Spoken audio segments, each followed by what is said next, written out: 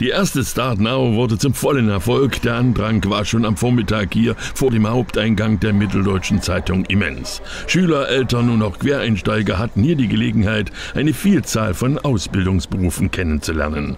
Regionale Ausbildungs- und heimische Traditionsbetriebe und innovative Mittelständler informierten hier über ihr Angebot und gaben Einblicke in Arbeitsabläufe.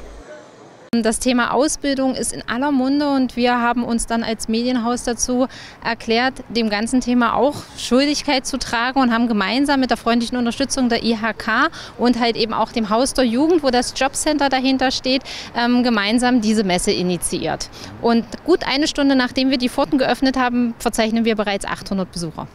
Insgesamt zählte man hier mehr als 1500 Interessenten bei dieser Ausbildungsmesse und ein bemerkenswert hoher Anteil interessierte sich beispielsweise für den Polizeiberuf. Hier wurden verschiedene Bereiche und Laufbahnen angeboten, Ausbildung oder Studium, Bundespolizei oder Bundeskriminalamt. Hier brachten die Beamten Licht ins Dunkel.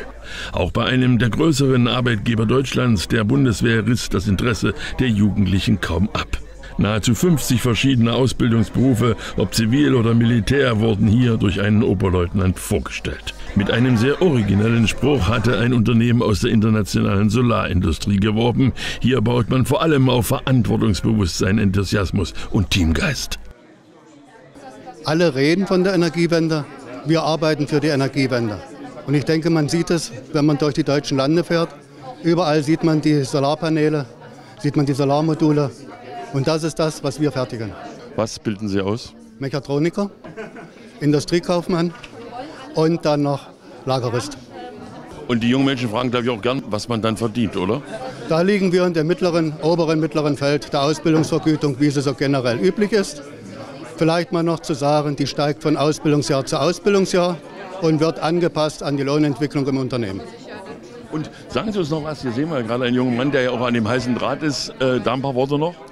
Das sind unsere Auszubildenden, Auszubildenden zurzeit im dritten Lehrjahr. Und die werden diese Anlagen einmal vorstellen. Wir haben einmal den heißen Draht, da kann man die motorischen Fähigkeiten mal testen. Wie ruhig ist meine Hand? Wie kann ich mit meinen Augen meine Hand steuern? Und die zweite Anlage ist das Modell eines Portalkranes. Hier haben wir ein Greifersystem. Und dieses Greifersystem ermöglicht dann, eine kleine Baugruppe von einem Platz zum anderen zu bewegen. Mit einem Vorteil, man sieht diese Greifersysteme auch auf jedem Rummel. Bei uns braucht man keinen Euro reinstecken. Mehr als 20 Firmenberufe konnte man hier kennenlernen. Dabei wurde auch gern das Angenehme mit dem Nützlichen verbunden. Dazu zählte wohl auch die nebengelegene Foto- und Styling-Lounge. Stylisten haben hier beraten und man erhielt im Anschluss ein professionelles Bewerbungsfoto vom Messefotografen mit auf den Weg.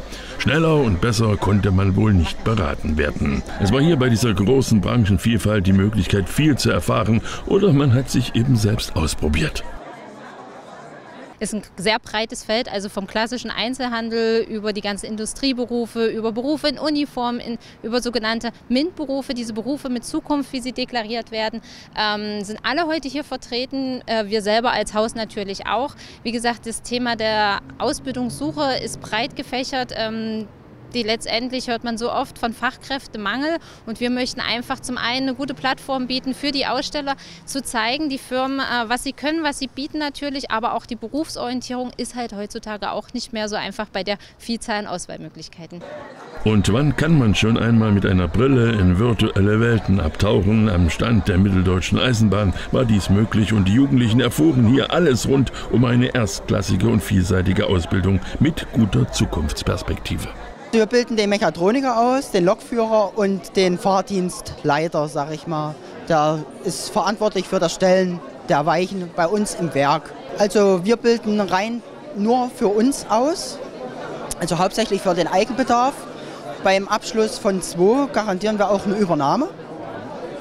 Und äh, die Ausbildung zum Mechatroniker wird bei uns dreieinhalb Jahre dauern und zum, für die anderen zwei Berufszweige jeweils drei Jahre.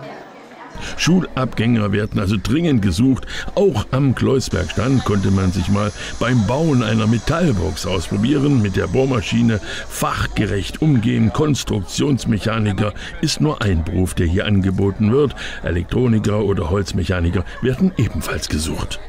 Also der große Fokus ist prinzipiell, dass wir ähm, uns dahingehend konzeptionell ausgerichtet haben, dass wir eine Mitmach- und Erlebnismesse konzipiert haben. Und es geht oft darum, dass die ähm, Auszubildenden Suchenden, die Schüler gar nicht so genau wissen, was verbirgt sich denn eigentlich hinter dieser Berufsbezeichnung ähm, Mechatroniker oder Chemielaborant. Und ähm, da sind wir mit unseren Partnern zusammen mit den Ausstellern, die heute vor Ort sind, ins Gespräch gegangen, haben gesagt, Mensch, ist es nicht irgendwie möglich, an jedem Stand kleine Erlebnismodule mit anzubieten? Anzubieten, damit man so einen gewissen Einblick in die eigentliche Berufswelt auch erfährt und dann für sich entscheiden kann, ist das etwas für mich oder ist das eben etwas nicht.